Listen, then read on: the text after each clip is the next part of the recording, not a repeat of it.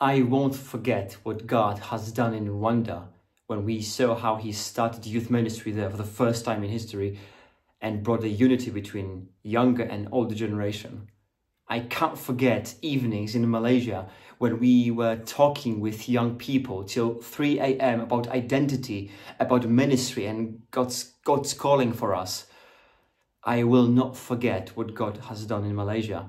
Where we saw younger generation changing perspective and starting to pray for elders and pastors and them asking questions to young generations how can we help you to grow? Yeah god is doing something great. And he's changing perspective by ibcm network also when we think that the young generation is a threat to the church actually he shows us that they might be a great blessing and we invest into it as they will be our co-workers in the vision of a church.